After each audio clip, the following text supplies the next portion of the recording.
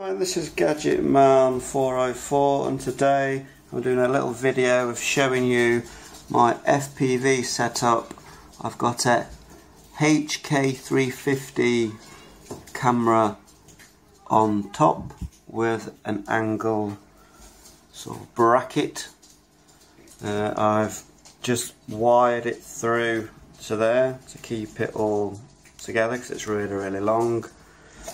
I've got the transmitter is on the leg and I've made a harness and then I've powered it into a 2S battery spliced into the main battery and I'm using the G-Teng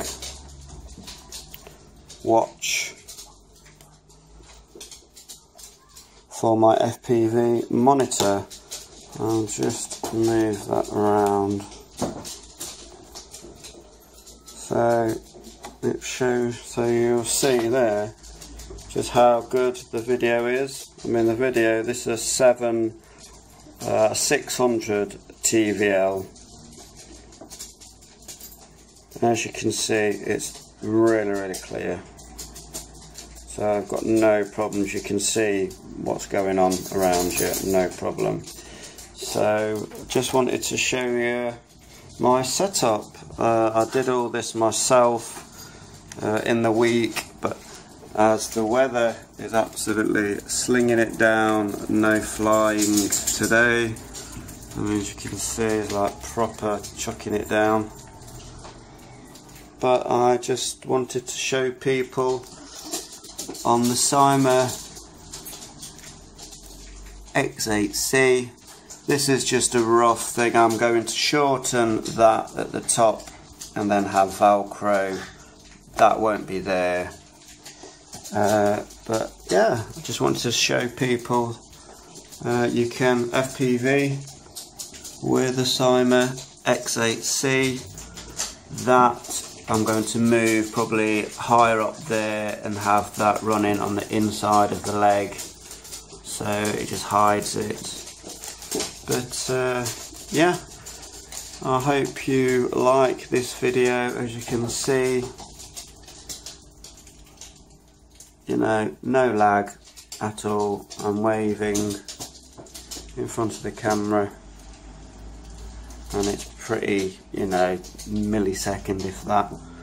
So that that watch monitor is absolutely amazing. And the colours are so so clear and to change channel you just on the side you see you've got at the bottom you've got your, your letters like your race bands and then the channels. And then to select the channel if you want it to go up you just press the uh, you just press the channel button until it goes all the way through until you get a picture so race band on this one is like D1 or something it's set to at the minute but you can change it to whatever you want. Some people say don't use this as your FPV screen but seriously you can because it is you can just fit it onto your aerial which is why I'm taking the strap off.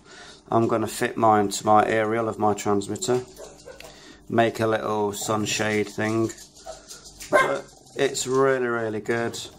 And um, this is how I've set it up if there's there's different ways possibly. But this way works and I've put a video out already.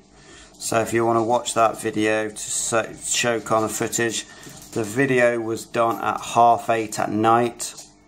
So basically you know getting dusk um, bit cloudy but the camera works really well in low light and you can adjust the angle of that camera. You could just undo that little screw and the camera will move forward or back. You could push it further back or you can move it forward.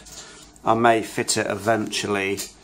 I may fit the camera here somehow.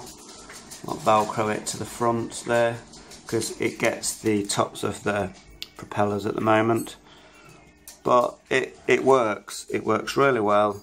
So Gadget Man 404 out.